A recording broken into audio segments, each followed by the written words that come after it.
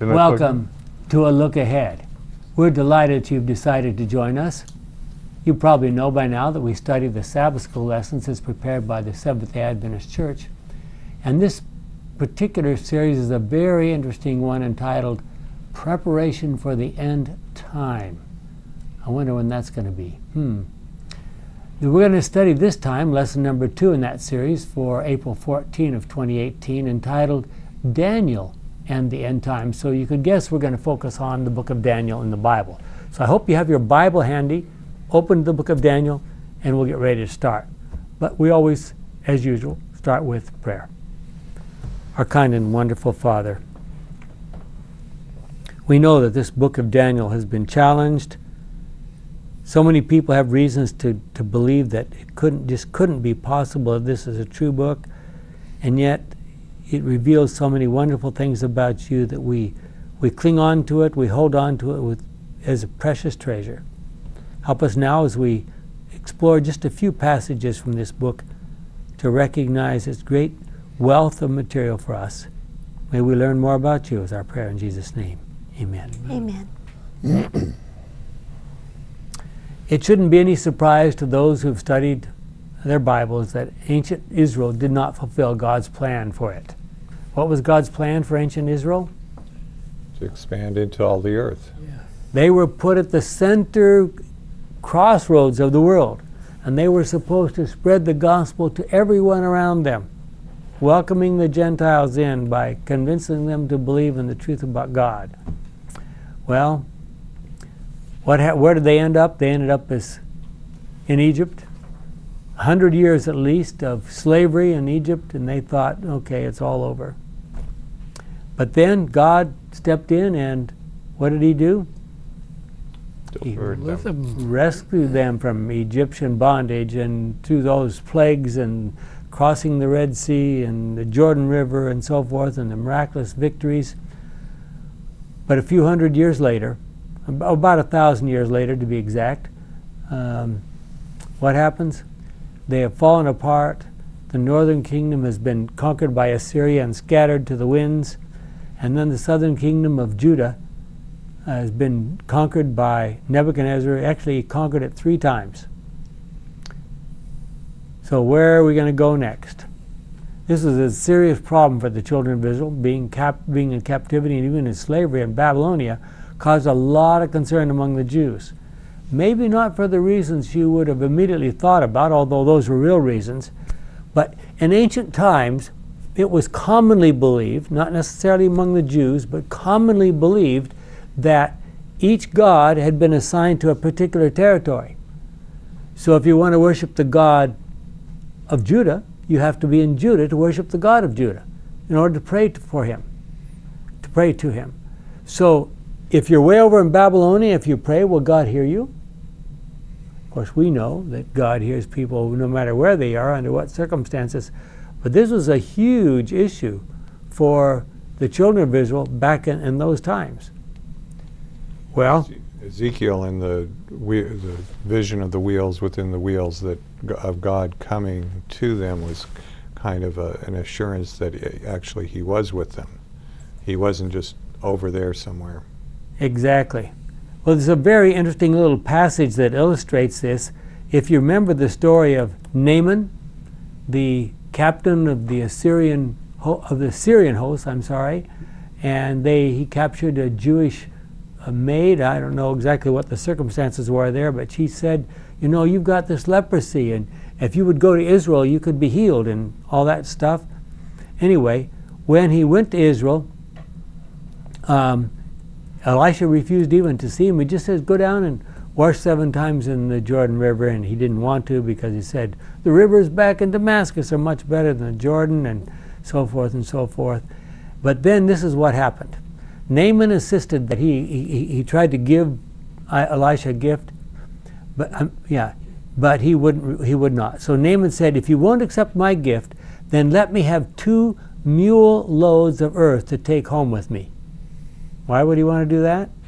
So he could worship the God of Because from now on I will not offer sacrifice or burnt offerings to any God except the Lord. So I have to worship him on his territory. So I hope that the Lord will forgive me when I accompany my king to the temple of Rimmon, the god of Syria, and worship him. Surely the Lord will forgive me. And I, I think we're going to probably be, meet, meet Naaman when we get to heaven.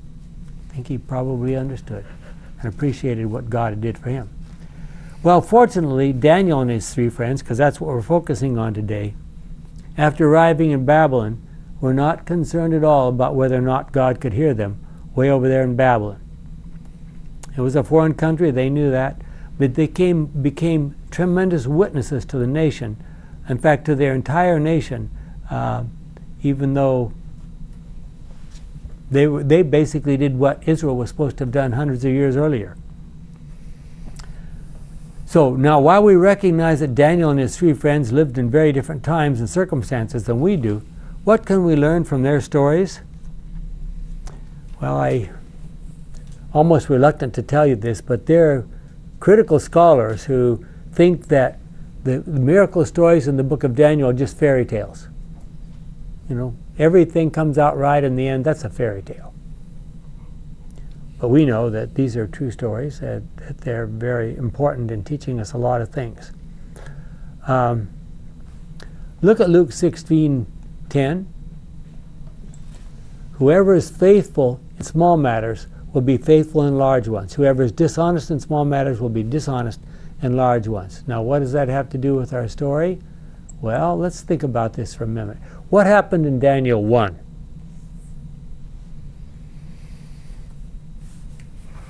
Requested a diet that didn't. Okay, well, first of all, Nebuchadnezzar went to Judea. He conquered the country, and he said, Now I need some people to take with me to represent Judah in my kingdom. So give me the very best young men you have available. And some Daniel and his friends were probably from the royal family. And they were taken off to Babylon. And the rest of what we read, as Carrie started to tell us, is what happened? Well, they never lost the courage of their convictions. They saw what the king was eating and it went through past his idols, this kind of stuff, and they wanted no part of that, so they asked for a special diet, which they'd probably been raised on Yeah. all along. Mm-hmm. So what was remember what what did Daniel do? Oh, he asked for special exemption. Uh, He asked for test, exp- and who did he ask? The one who was overseeing them. Mhm. Yeah. And so that person was really worried because he thought if you're going if you eat the king's special food and he drink his wine, surely you're going to be better off than any other diet you could imagine. So and if it turns out that that you look worse because of that, they might cut off my head. Yeah. And so what did Daniel suggest? Try. trial. Try it for 10 days. Now, how much difference do you think they would be able to see in 10 days? Shouldn't be much, but uh, apparently it was. It was probably a miracle. But uh, on the other hand, I think it's fair to re- to think that Nebuchadnezzar and his higher ups they were probably drunk half the time, and these lads wouldn't be. Yeah. Right there, there's I a think difference. that may be a major part of it. Now, you've already hinted at a couple of things. Not only was the food that Daniel was asking for healthier, but it had not been, vegetables were not offered to the pagan gods. And it was assumed if you ate the food that had been offered to the pagan gods, you were worshiping those pagan gods. So any success they would have in the future would be attributed to the pagan gods. So that may have been an even bigger reason for Daniel to refuse it than the fact that it wasn't the healthiest thing to eat. It's interesting, I'm just was curious in studying this, turns out that um, the word in King James which says pulse, which we usually say that means vegetables, that's exactly the same word that's used for Adam and Eve's diet in the Garden of Eden. And what was that diet? Roots, grains, and nuts. yeah. Not vegetables? Nope. That, that's No vegetables. Those are sinful. s- vegetables weren't introduced till after the fall. So there may have been more than just vegetables in Daniel's diet. Well, anyway, whatever. they ate healthy, and we know they, they were more incredibly blessed and, and did very well. God obviously worked closely with Daniel and his three friends repeatedly on different occasions. Would he not have worked with the entire country or the nation of Israel way back when they were in Palestine if they had been faithful? Of course he would have. What about us in our day? Is God willing to work with us? Do I need to ask? Are we carefully adhering to the truth in the Bible, the writings of Ellen White? Are we being good witnesses to those around us? Those of us who live here in Loma Linda live in a place called the Blue Zone. What's the Blue Zone? Doesn't mean it's covered with bl- the blue haze of cigarette smoke, I can guarantee that. What's the Blue Zone? The Democratic? Democratic? Oh, it's in those No, parts of the that world. either. Those parts of the world where people generally live a lot older, 10 years or so. Some of them live even longer than that. Four places. Someone was set out to, to research this, and he picked out four places in the world where people lived longer. And the only one in the only one of those places in a relatively civilized country, you know, was Loma Linda. Yeah, well, So why do Seventh Day Adventists living in Loma Linda live longer? I mean, the Adventist health study has just gone uh, on and on and on and on. It shows almost every kind of cancer you can imagine is way less if you follow the, the biblical diet. Uh, heart disease is way less if you follow the biblical diet. In fact, Adventists who carefully follow the biblical diet, and, and with some additions from, made by Ellen White, live on an average 10 years longer than the general population. That's a big difference. Now, I want to say something. A, a lot of young people who might be listening here will say, well, you know, do I want to spend an extra 10 years in the nursing home, you know, with someone poking food down my face and, you know, wiping my bottom and all that kind of stuff? That's not what we're talking about. The 10 years more that you get is in the middle of, the, of your life, at the healthy part of your life. The people who don't follow that diet, they start deteriorating 10 years younger. Yeah. we just had So- we just had a gentleman turn 103 in this district just this last week. Mm-hmm. You know, they there's some people are pointing out that it may not just be the diet. Maybe the fact that we take off a day and Oh, take Worship God. and worship God and Certainly and do. kind of unwind that that might be a, a good Why not? reason for it too. part and parcel of That the should same be a part of package. it. hmm Well, what have Ad- Adventist evangelists done with Daniel 1 and Daniel 2 over the years?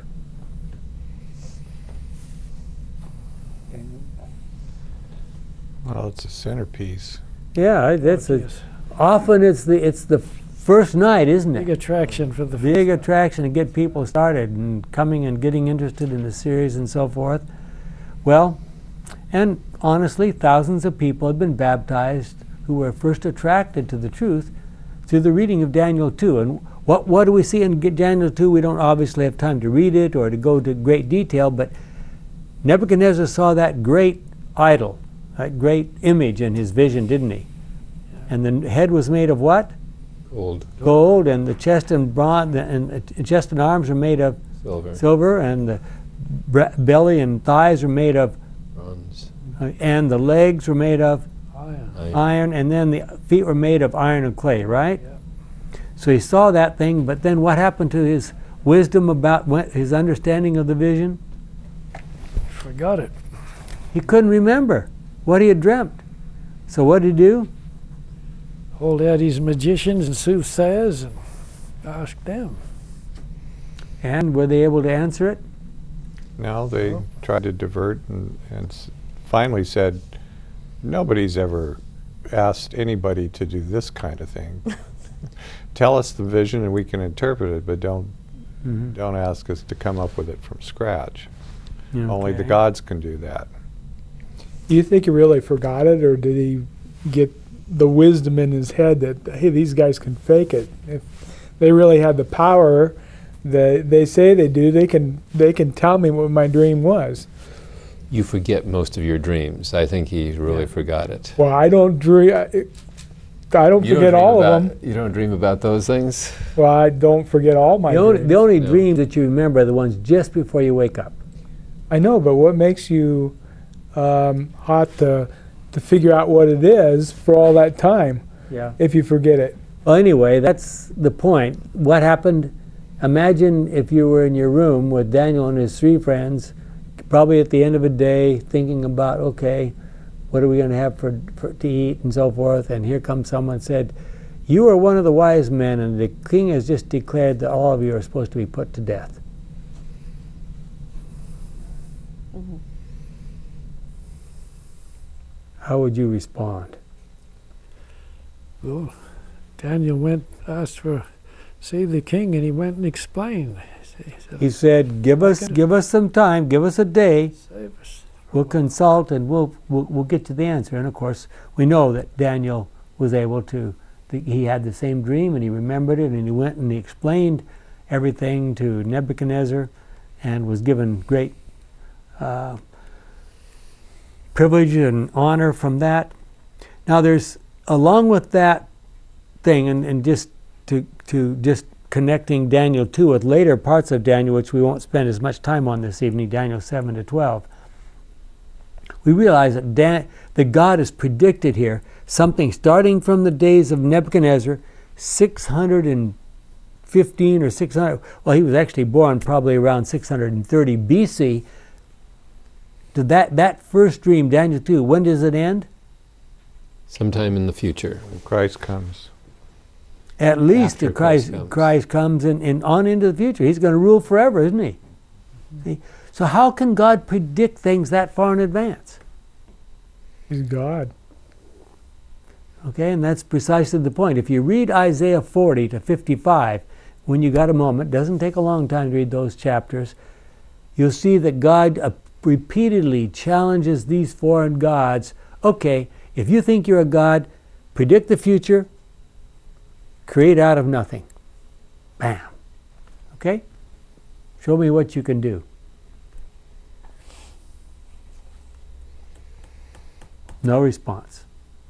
The real God can create out of nothing and he can predict. We know that it, at the end of Daniel, he predicted precisely something that was going to happen more than 2,300 years later.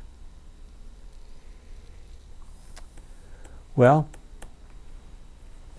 when Daniel appeared before Nebuchadnezzar with this information, what did he say? Well, King, I did a good job. I got the answer for you. What did he say? God showed me. God showed me the true God, the God of heaven, showed me what you want, what you need to know. So that's a humble approach, and it was an approach that worked. In our daily activities, and especially when we seek to evangelize by sharing our faith, do we take a humble attitude? Do people see that we are witnessing for God? Do they praise God because of what we say? Remember what it says in Matthew 5, verse 16? In the same way, your light must shine before people so that they will see the good things you do and praise who? Your Father in heaven. Your Father in heaven. Wow, how good do we at, how good are we at doing that? Paul felt that he, he could only boast in the cross of our Lord Jesus Christ, Galatians 6:14. So look at the next major story in chapter 3 of Daniel. And what happened there? Nebuchadnezzar decided to make a statue of all of gold. Since All he was gold. the head of gold, and Yes. the other one, he would just make the whole thing himself. Mm -hmm. And what was supposed to happen there on the plain of Dura? Everybody bowed down. Everybody was supposed to show up and bow down when the music sounded, right? And what did happen?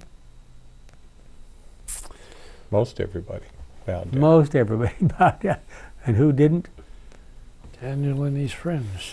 well, Yeah. Daniel was probably somewhere else. He yeah, Daniel must have been somewhere else because we know that the three friends were there, weren't they? mission. Yeah. And they refused to bow down. And when the king called them, what did they say? we can't. We won't Sorry, king. Even if you, whatever you do to the hot, to the oven, we don't care. It doesn't matter.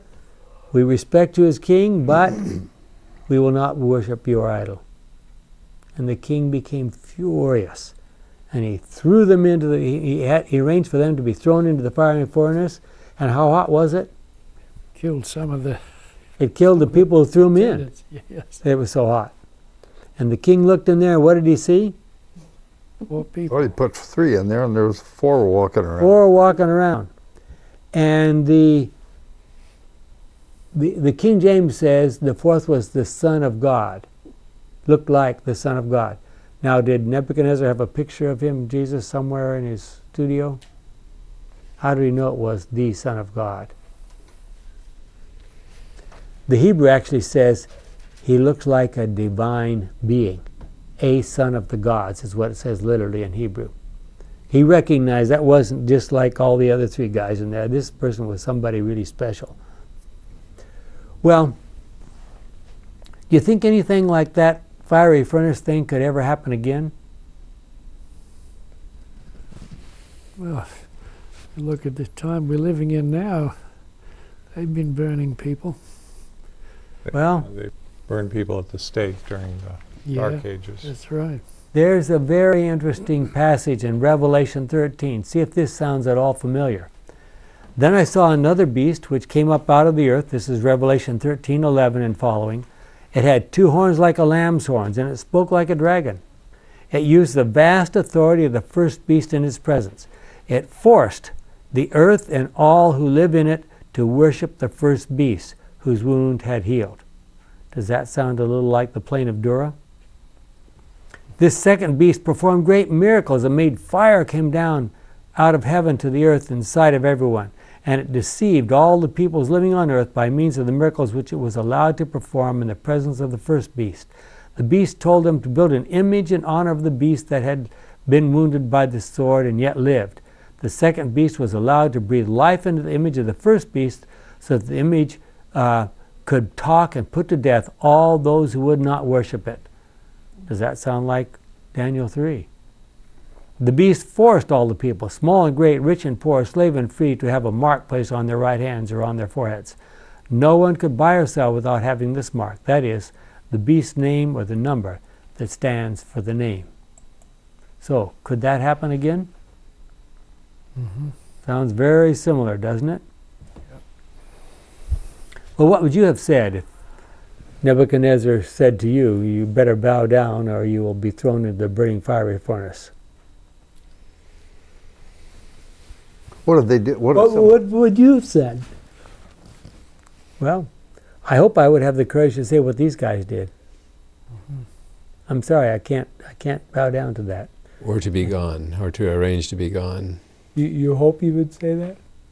Well, I mean, I haven't been in that exact position, so I can't absolute guarantee. Well, that's true. But you know, when you are in that position, God would give you words to say. Yeah. Yeah. Well, what if they had not been preserved? Would it have still been the right thing to do? It's happened a lot. Yes, I think so. A lot in the future. A lot afterwards. People burned at the stake, and they weren't. They didn't come through. over the last 10, 15 years, we've seen these things with ISIS Mm-hmm. beheading and killing uh, Oh, uh, Christian types. Mm-hmm. Mm-hmm. Yeah.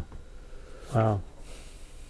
There's a story told about a group that um, a few years ago was called to be missionaries in Zaire, which is the Congo now. And they were supposed to travel up there, and uh, someone says, Before you go, stop and spend a little time with us, and a day or two. So they said, Okay, we'll come and spend a couple days with you.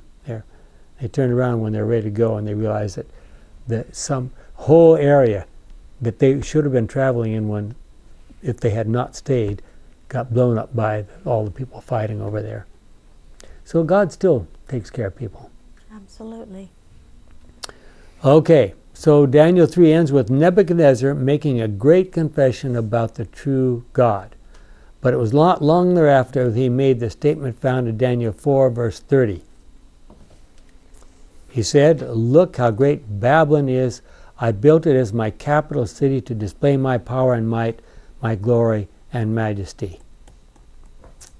Okay? So, I think that was the one I was supposed to have given you, Dennis. Was that it? No?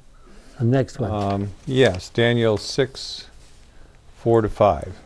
okay. Then the other supervisors and the governors tried to find something wrong uh, with the way Daniel administered the empire, but they couldn't. Because Daniel was reliable and did not do anything wrong or dishonest. They said to one another, We are not going to find anything of which to accuse Daniel unless we, it is something in connection with his religion. Okay. I I think I made a mistake there. Yeah, that was mine. Yeah. Jackie, were you supposed to read the once proud monarch, or was that you, Carrie? Carrie. Yeah, That was Okay. carried. It's mine. Okay. Go ahead. Ahead Lon. with it. The once proud monarch had become a humble child of God, the tyrannical, overbearing ruler, a wise and compassionate king. He who had defied and blasphemed the God of heaven now acknowledged the power of the Most High and earnestly sought to promote the fear of Jehovah and the happiness of his subjects. Under the rebuke of him who is King of kings and Lord of lords, Nebuchadnezzar had learned at last the lesson which all rulers need to learn that true greatness consists in true goodness. He acknowledged Jehovah as the living God, saying, quote, I, Nebuchadnezzar, praise and extol and honor the King of heaven, all whose works are truth and his ways judgment, and those that walk in pride he is able to abase. Unquote. It's from Prophets and Kings, page 521, paragraph 2. Okay. So, what led to that great change in his attitude? Well, he was eating grass for Seven years. years. Yes. You wonder what changed in his digestive system that made it impossible to live like an animal Yeah. for seven years. Amazing. Well, do you think you do you think we'll see Nebuchadnezzar in heaven Hope so. I think there's a chance. after that paragraph? You think there might be a pretty good chance, huh? Yeah. Okay, well, we've talked about that a little bit. And in, in, in the book of Daniel, we see that the wisdom and faithfulness of him uh, uh, uh, led him to a top position for the gov- in the government of Babylonia. Then, when Babylonia was conquered by the Medes and Persians, it was not long before he was in a top position in that government. That is an almost unheard of thing. So, what do we know about Daniel that might help us to explain why he, why that was? And Dennis has already read us his passage from Daniel 6. Um, they said there's not, we can't find anything wrong with this Daniel except maybe in connection with his religion. So, what was it that Daniel did they thought they could catch him doing? Praying three times a day. Three times a day he would go back to his room. Apparently, he would open the windows and bow down and pray toward Jerusalem. Okay? So, what, was, what happened? Is that what we should do? Well, we, we're no longer told to praise toward Jerusalem. We don't have to do that anymore. After Christ died, and the, Some, some people pray towards Mecca. yes, That's east from here, and so is Jerusalem east. So there, unless you face Very west. close. You know, that might still have a little relationship to people, you know, br- bringing dirt over and, and praying on that. Only now they're they're looking towards the place now. yeah. So, but now we know that God is is God Okay. over everything. Let me let me ask you a couple of questions. Do you think Daniel knew about this decree? Absolutely. Oh yeah. And what did he do? What he'd always done. Didn't change anything. I mean, why couldn't he have just not opened the window? He could have co- couldn't he have prayed in the quiet somewhere? Played in the corner. Uh, Jesus said, "Pray in their closet." And what God hears in, in, the, in the quiet in the closet, he, he, he will make open, make available to the public. Or he could have prayed at some other time when they weren't watching. He didn't do that. He could have offered his prayers silently and inconspicuously, even while he's working. So, why does he need to go and open the windows and pray toward Jerusalem? I think he just knew the situation was challenging, challenging God, and to do anything else would just he would lose a little bit. And why Lose would he want to lose? Well, he could still pray with the thing closed, you know, and so in that way you're losing, you're winning a little bit.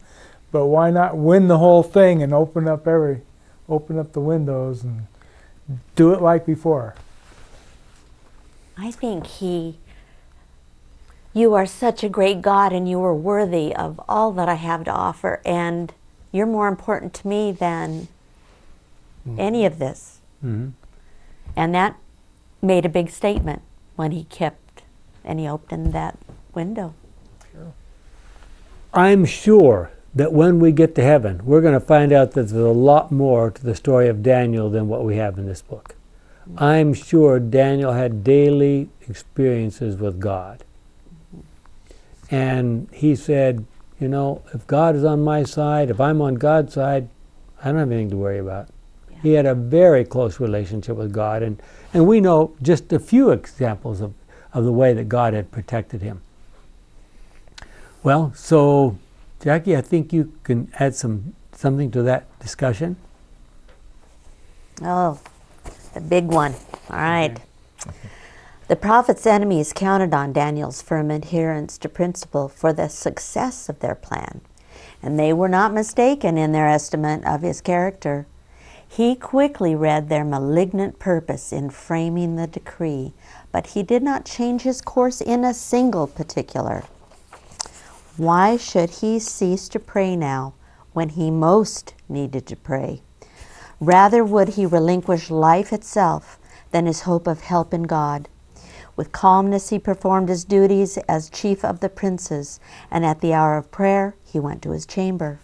And with his windows open toward Jerusalem, in accordance with his usual custom, he offered his petition up to the God of heaven. He did not try to conceal his act. Although he knew full well the consequences of his fidelity to God, his spirit faltered not. Before those who were plotting his ruin, he would not allow it even to appear that his connection with heaven was severed. In all cases where the king had a right to command, Daniel would obey. But neither the king nor his decree could make him swerve from allegiance to the King of Kings. Thus the prophet boldly, yet quietly and humbly declared that no earthly power has a right to interpose between the soul and God. Surrounded by idolaters, he was a faithful witness in his truth. This, his dauntless adherence to right, was a bright light in the moral darkness of that heathen court. Daniel stands before the world today a worthy example of Christian fearlessness and fidelity. For an entire day, the princes watched Daniel. Three times they saw him go to his chamber, and three times they heard his voice lifted in earnest intercession to God. Jackie, I'm going to interrupt for just a second. What language do you think he was praying in? Probably Hebrew. Hebrew. Would they understand Hebrew? They might understand some of it. Maybe they, They had a would've- translator there, an interpreter. They would have spoke Aramaic, Yeah. and one linguist told me that it's like the difference between Spanish and he and, And uh, Portuguese. Portuguese. Yeah. Quite a bit alike, yeah. That's true. So anyway, they saw what they wanted. Okay, go ahead. The next morning they laid their complaint before the king. Daniel, his most honored and faithful statesman, had set the royal decree at defiance. Hast thou not signed a decree, they reminded him, that every man that shall ask a petition of any god or man within thirty days, save of thee, O king, shall be cast into the, the den of lions. Prophets and Kings, Mm. 540 to 542. So I'm sure at that point in time, they said, yeah, We, We we've got got him. There's nothing he can do. Well, what was the result? Lion's Den. The lion's den. And Daniel got thrown into the lion's den, even though Nebuchadnezzar tried to do everything he could to try to protect him. Yeah. Got thrown in, I'm sorry, Right. Darius. it was Darius this time, I'm sorry, not Nebuchadnezzar. Um, tried to preserve him, but he couldn't, so off he went. And what was the final result? When they Yeah. came early the next morning, King had had a very sleepless night. Yeah. Rushed down to see if he was still alive, and he was. and he was. They pulled him out. And then what happened? The bad guys went in. All the snakes was this- went in was- the pit. Is this uh, God's way of thinning out the, the evil ones? God didn't throw him in. It was the other other people threw Yeah. him in. Well, okay. Gary? As we near the close of this world's history, the prophecies recorded by Daniel demand our special attention, as they relate to the very time in which we are living. With them should be linked the teachings of the last book of the New Testament scriptures. Satan has led many to believe that the prophetic portions of the writings of Daniel and of John the Revelator cannot be understood. But the promise is plain that special blessings will accompany the study of these prophecies. The wise shall understand. Daniel 12:10 was spoken of the visions of Daniel that were to be unsealed in the latter days and of the revelation of Christ gave to his servant John for the guidance of God's people all through the centuries. The promise is blessed is that is he that readeth and they that hear the word of this prophecy and keep tho- the, those things which are written therein. Revelation 1:13. That's from Prophets and Kings. Actually, it's Revelation 1 3. Oh, Prophets and Kings 547 to 548. Okay? So, does God expect us? Oh, what about it? Is this is, is the book of Daniel still sealed, or should we be able to understand it today? I don't know. It seems like sealing could be in layers. Okay. As time has gone by, people have unsealed certain in certain ways, and as time goes by, they unseal it a different way yet. So there might be all kinds of seals there. Okay. Well, we know that the book of Daniel is, is divided almost right in the middle between the first half is mostly historical material and the second half is mostly prophecies. So when you read the book of Daniel or hear about the when someone mentions Daniel, what do you think of? Do you think of the lion's den and the the, the, the fiery furnace or do you think of the 2300 days and uh, the prophecies? What, what comes to mind first? Well, the stories are repeated so much that you remember those. But uh, the late Dr. Leslie Hardinge had Hmm. the idea, or expressed the idea that the prophecies told us about the last days. The stories told us how to live in the last days. Okay, fair enough. Now, is it true that the originally those that book was written in two languages? Yes. So Yeah. it- was it divided in half as far as those languages go? No. No. Um, what happened was this, and Dan, it starts out in Hebrew, in, in Daniel 2, verse 4, where he's coming to explain to the king the answer about what happened, so forth. He says, O king, live forever, etc. He's, of course, he's now speaking to the king, so he has to speak Aramaic. So he, he jumps to Aramaic at that point and continues in Aramaic until chapter 7. And now, when he's prophesying stuff far in the future and he's not dealing with, uh, he's in Persia now, he's not in Babylon anymore, he goes back to Hebrew. So two through two through te- seven, more or less, and are in Aramaic, and then chapter one, the first couple of two, three verses of chapter two, and then seven and the rest of the book were in Hebrew. Okay, that little section, that's when he's talking to the It's- Babylonians? The, the Aramaic starts when he's talking to the, ba- the to the Babylonians. Does it And he's- end too? He stays he stays with Aramaic until he's finished with the Babylonians. Oh, okay. Well, that's like using all caps in a. whatever you want to call it. yeah. Yeah. Um, well, Daniel, we're going to we're going to discover as we read on that prophes- the, the prophecies of Daniel take us down all the way to the modern time, 170 some years ago, 1844. Well, there's something interesting about what happened there. Um, Daniel was very concerned about that pro- that long time period because of what? What was his concern about? Do you remember? His concern was about God's reputation. Yeah. When And Israel was going to be, re- Judah going to be restored. That was okay, and how did he learn that? from uh, was it Jeremiah? Jeremiah's prophecy. how do you think Daniel got a copy of Jeremiah's prophecy? Smuggled. Smuggled? Maybe. There must have been communication between the two. Because they, Jeremiah had the opportunity of, of actually retiring to Babylon. Yeah, and visiting chose to stay. Yeah. Yeah. Okay. Well, was Jeremiah the only prophet around in those days, back in Judah? Well, there could have been a lot of them. It's just that they didn't write anything that survived. Do we have know? No spe- do we know specifically about any prophecies?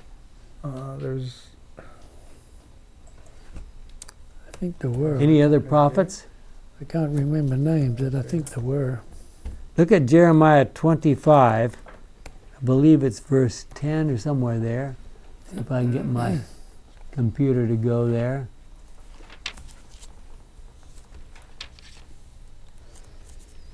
And it's a little bit further down.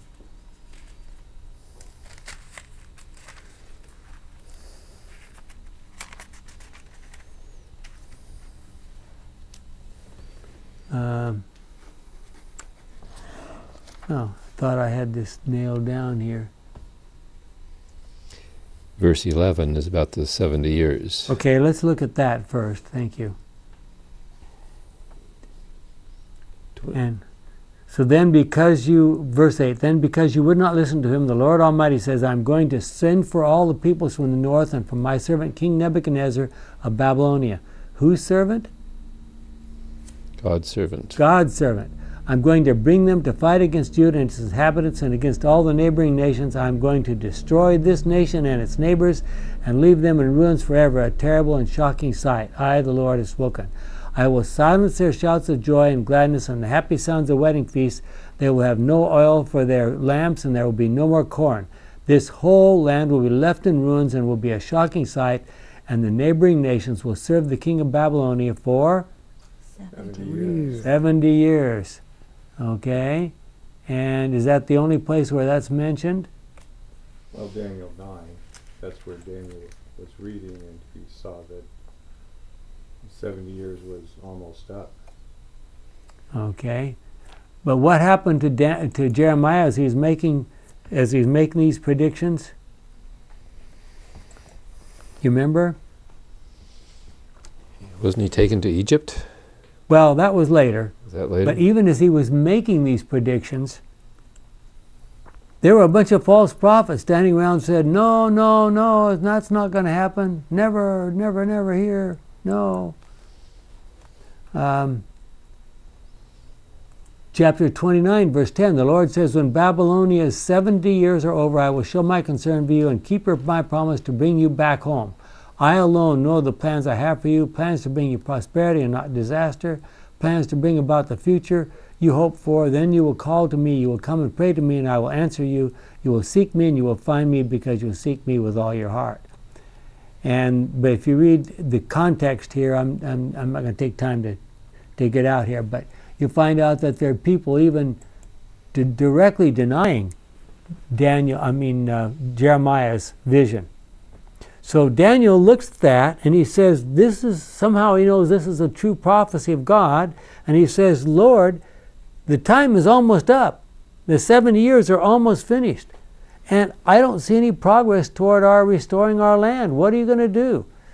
Can you, can you tell us a little bit about that? Uh, I think you have a part of that. Uh, Gordon? From Daniel 9, Mm-hmm. verses 15 to 19. Mm-hmm. This is uh, Daniel's prayer. O Lord our God, you showed your power by bringing your people out of Egypt, and your power is still remembered. We have sinned, we have done wrong. You have defended us in the past, so do not be angry with Jerusalem any longer. It is your city, your sacred hill. All the people in the neighboring countries look down on Jerusalem and on your people because of our sins and the evil our ancestors did. O God, hear my prayer and pleading. Restore your temple, which has been destroyed. Restore it so that everyone will know that you are God. Listen to us, O God. Look at us and see the trouble we are in and the suffering of the city that bears your name. We are praying to you because you are merciful, not because we have done right. Lord, hear us. Lord, forgive us. Lord, listen to us and act. In order that everyone will know that you are God, do not delay. The city and these people are yours. Wow, what kind of an appeal is that? So what's what's he what's he what's he asking God to do? Take us back to Jerusalem. Fulfill his promise. Promise. Instead of Yeah. just saying, oh, hey, let's throw a party because God's going to do it no matter what, he enters into prayer to bring about the result. He does two things that are really important. One, he does not separate himself from the people. He says, "Our sins, we we, we have sinned, we have done wrong, and so forth like this." And then he says, "God, do something, not because we're righteous, not because we've done anything right, but for what reason? Your name's The reputation. It's your people, your reputation, your city. People are looking down on, you know, God, it's you. It's not us, it's you. I think that's an incredibly powerful point that he's making there. You're asking about other prophets. Nahum overlapped, and Mhm. Zephaniah was during Jeremiah's time. Habakkuk, and of course Ezekiel and Daniel and, and Yeah, those are the good prophets, but there was a whole lot of a whole lot of Yeah. false prophets also. Yeah. Well, when Daniel received a copy of Jeremiah's prophecy, how did he know that it was inspired? You ever thought about that? Remember, in those days, you didn't get a Bible that was nicely bound up and it says the Word of God on the cover and so forth. You got a scroll. By reading it and analyzing it, comparing it with the writings of Moses and with other things that you know are inspired. Okay? And also, you know, if he was a man of prayer, God would have testified that this was Mhm. this was good. This was from me. I think the Spirit would have would have guided him to the right Good. places. Are we prepared to stand firm and true to the truth? Are we ever tempted to compromise with the truth, even in small ways in our lives today? If we are compromising now, will it be easy, even easier for, to make larger compromises later?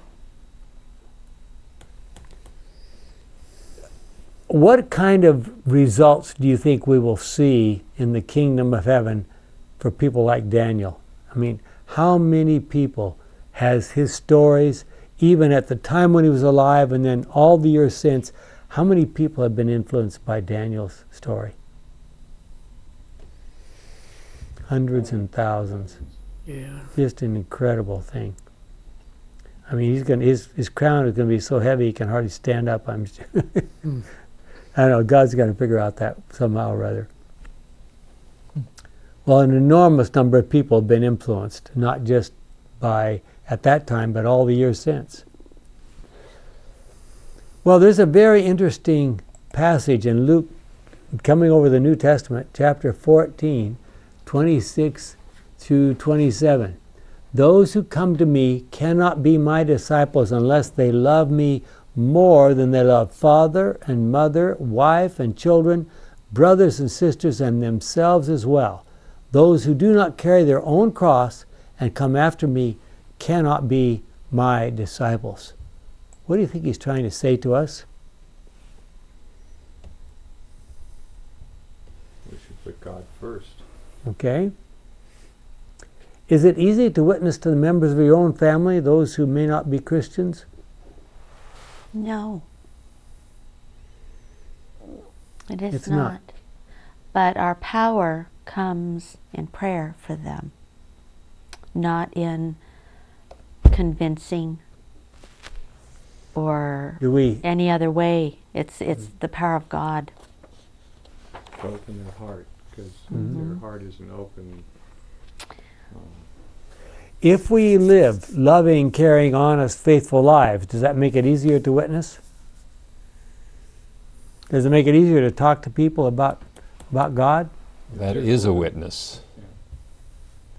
And they'll, they'll either steel their heart against it or they'll be drawn to it. We're either drawn to the light or we Mm. turn from the light. In our day, is it easy to have the kind of relationship that Daniel had, do you think?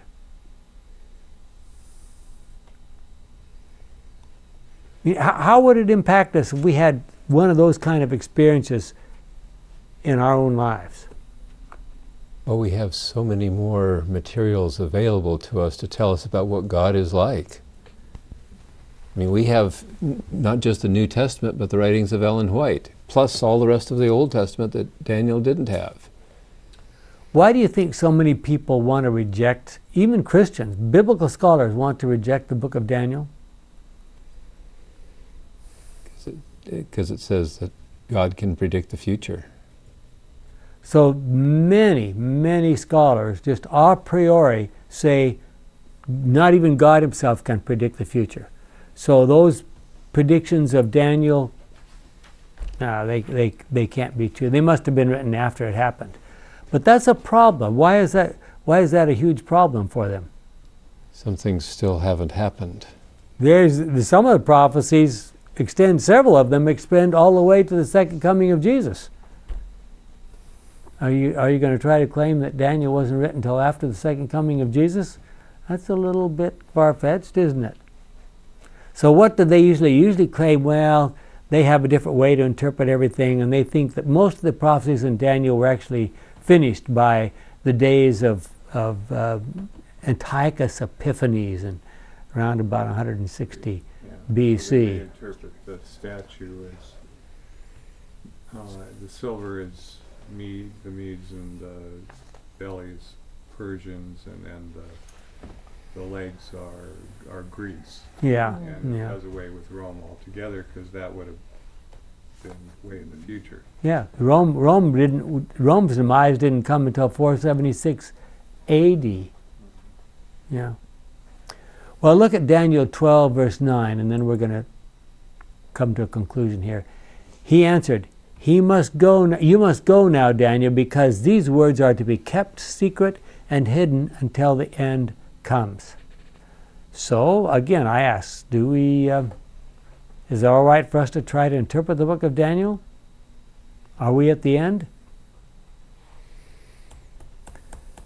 Well, in terms of witnessing, Jim, I think you have a comment there. It should be clear that you cannot antagonize and persuade at the same time. Holy lives lived and visible to those around us are powerful sermons. The unstudied, unconscious influence of a holy life is the most convincing sermon that can be given in favor of Christianity. Argument, even when unanswerable, may provoke only opposition, but a godly example has a power which is impossible wholly to resist. From Sketches from Life, uh, Life of Paul by Ellen White And some other places. in places. 1883 and Mhm. following. I, one thing we haven't uh, dealt with, and that is Daniel 12 1. Michael, the archangel, stands up, who has, uh, the RSV says, who has charge of your people, but the NIV says, your protector, and that one is stuck out with, with me. God is our protector of those that were willing to listen and take instruction. So, anyway, I like that uh, verse, uh, very important. Well, in the book of Daniel, if we compare it with the book of Revelation, we can learn a lot of things about false worship. A lot, a lot of, of people trying to defeat and so forth. What, what things can we learn about false kinds of worship? Nauseating to the Lord. False worship is commanded by those who are not God. It is done in public places for all to see. Usually, they want to show off. The authorities are watching to see if you obey or not. Does this sound like uh, Nebuchadnezzar? I mean, uh, Nebuchadnezzar and the three worthies. You are not given a choice as to whether you will worship or not. And five, those in charge will try to kill you if you do not comply. And that's going to be true in the end, just as it was in the days of Shadrach, Meshach, and Abednego. So, as you review the stories and prophecies from the book of Daniel, is it obvious to you how they are related to us in our day? In Daniel 7, we see a little horn making claims that he is to be worshiped. Is it clear who that is talking about? Seventh day Adventists have been quite successful at reaching the less educated, poor, ordinary people with the messages of Daniel through evangelistic sermon series. Why have we been so much less successful in reaching out to the powerful, the wealthy, the highly educated? Could we and should we do better? How are we going to reach those people? The people who think they know the answers, they think they know that Daniel can't be relied upon, they think they know that, oh, the Bible is an ancient book. It's, it's for those people back then. It doesn't really have anything to do with us. If they reject it, they're rejecting the spirit of truth. And what, you know, you can't do anything about it. Yeah. Well, could we do anything to make it more appealing? Well, they don't have a yearning. I don't know that you Yeah. can yeah. string some syllables together to make it any. They need to understand that they need God, and somehow we need to make that clear to them. And that's our challenge, and yours too. A kind and wonderful Father, we thank you for these books from long ago, 3,000 years ago, more than 3,000 years ago. Here is material that we need to study, we need to learn about, we need to recognize the truths that are there so that we can serve you better. May we come to be more like you, is our prayer in Jesus' name. Amen.